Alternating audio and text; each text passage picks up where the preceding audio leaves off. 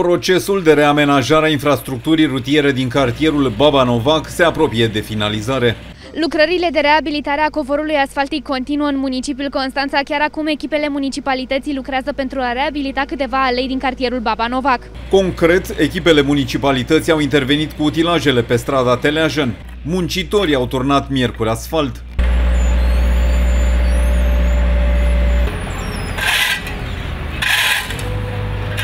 Constanțenii care locuiesc pe această stradă spun că aici nu au mai fost făcute lucrări de reabilitare de zeci de ani. Ne bucurăm, după 15 ani avem și noi asfalt.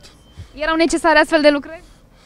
Erau, dar cam târziu, dar până la urmă e bine că au venit. Este foarte bine că s-a asfaltat după atâta timp uh, ne-a scos primăria din oroaie. Era bine să fie mai lat. Vă uitați cum uh, este destul de de îngustă. Strada sa, noi ne-am retras la cererea primăriei pentru a fi amenajată strada cu asfalt, cu trotuare. Există însă și câteva nemulțumiri. Unii oameni spun că sunt prea multe străzi cu sens unic, iar pentru a ajunge la locuința lor trebuie să ocolească aproape tot cartierul.